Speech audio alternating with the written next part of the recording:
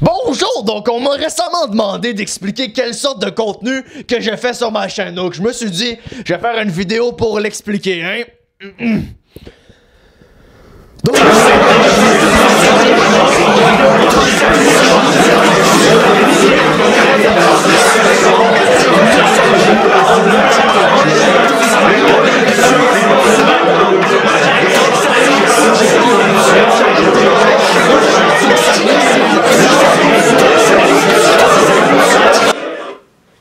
c'est pas pire, hein?